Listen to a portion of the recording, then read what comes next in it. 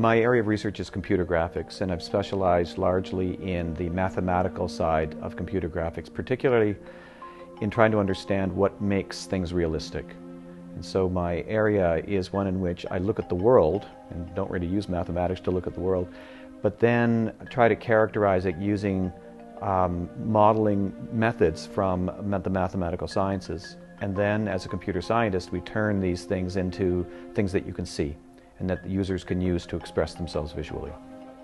So, in the early days, um, in this would be in the early 90s, uh, there was actually very little understanding of just how far computers could go, especially with uh, an area I call natural phenomena. By that I mean things like the flow of water, uh, the smoke billowing from a smokestack, and um, fire uh, lighting an environment. The potential of this was not fully understood in the early 90s, that it could actually be used in the film business and in, um, in commercials, in the design of products. And that early insight was uh, one that was grasped by a few people at the University of Toronto and a few people um, at Alias.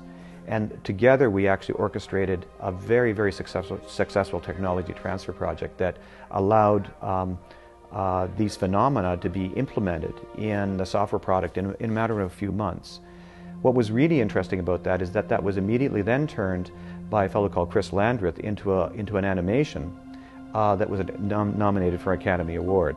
Right now, we're still, we still have a situation in which um, experts spend years learning to become experts on these, um, on these uh, visual tools.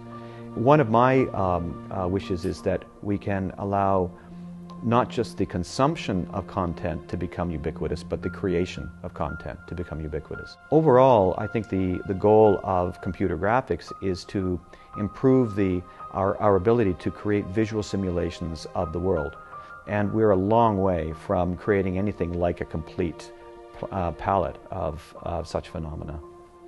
With NSERC funding and with great schools like the University of Toronto and, and, and great companies like Alias and Autodesk, I've been able to stay in Toronto and to do uh, with my students what I think is absolutely international level research.